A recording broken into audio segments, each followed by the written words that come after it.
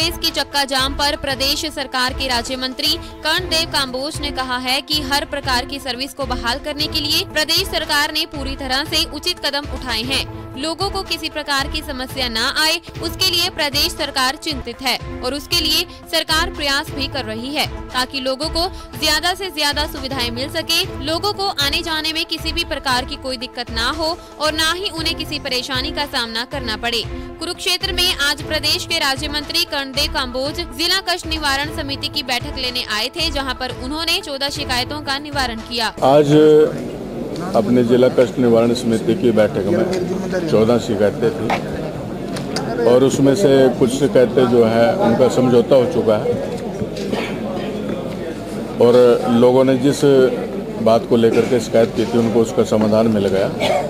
और कुछ कंप्लेंट ऐसी थी, जिनमें हमने दोबारा से जो है ना इन्वेस्टिगेशन के लिए जो है लिखा है, और दोबारा से उनको इन्वेस्टिगेट करा करके जो भी इसमें तथ्य सामने आएँगे, उसके आधार पर जो है ना अगली मीटिंग में उसमें कार्रवाई करेंगे। और लोग इसलिए यहाँ ग्रीवेंसेज की मीटिंग में आते हैं कि उनको न्याय मिले। और हमारा भी यही मकसद रहता है कि लोगों को यहाँ से न्याय मिले, लोगों का विश्वास बने कि ये प्लेटफार्म सबसे अच्छा है। जहाँ हम शिकायतें लेकर के आते हैं उसका हमने निवारण, उन शिकायतों का निवारण होता है। तो उसके अलावा भी काफ़ी जो कंप्लेंट्स लोग जो है, अपनी अप्लीकेशन लेकर के आए हैं। उनका भी हमने संबंधित डिपार्टमेंट को मार्क करके कि ताकि उनका भी समाधान लोगों को मिले। तो ऐसी काफ़ी जो है ना, लोगों ने अप्लीकेशनें भी दी हैं लिखित में, अपनी कंप्लेंट्स दी हैं तो उनका भी उनको समाधान ज़रूर मिलेगा।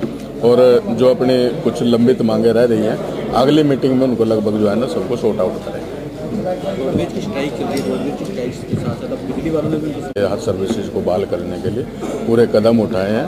और हम हर प्रकार के जो है ना लोगों को किसी प्रकार की कोई समस्या ना आए। उसके लिए सरकार जो है ना चिंतित है, सरकार जो है ना सारे प्रयास कर रही है कि लोगों को जो है ना ज़्यादा से ज़्यादा सुविधाएँ मिले, आने जाने में किसी प्रकार की कोई कठिनाई ना हो।